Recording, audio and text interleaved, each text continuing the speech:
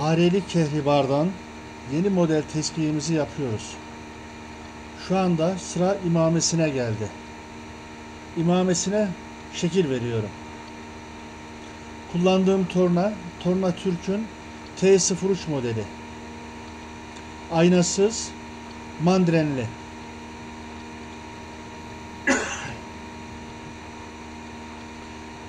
İşimi görüyor. İmame yapmak için imame demiri kullanıyorum. İmameye geriş, gerekli şekli verdikten sonra suya batırdığım üç çeşit zımparayla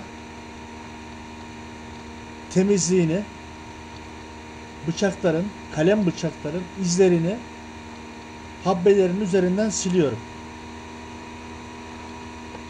İlk kullandığım zımpara 200'lük, ikinci kullandığım zımpara 800'lük, üçüncü kullandığım zımpara 2000'lik.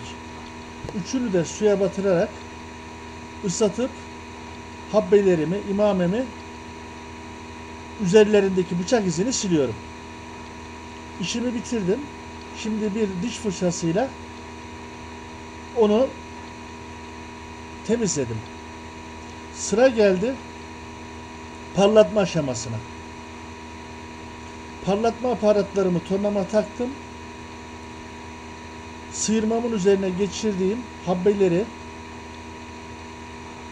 tornamda parlatıyorum.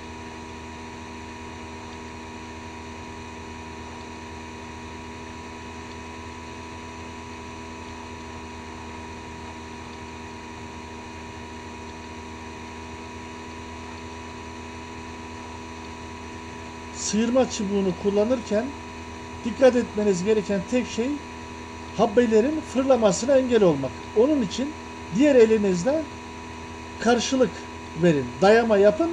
Habbeler fırlamasın.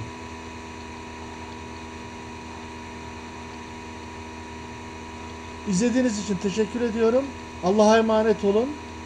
Selam ben Sultanoğlu.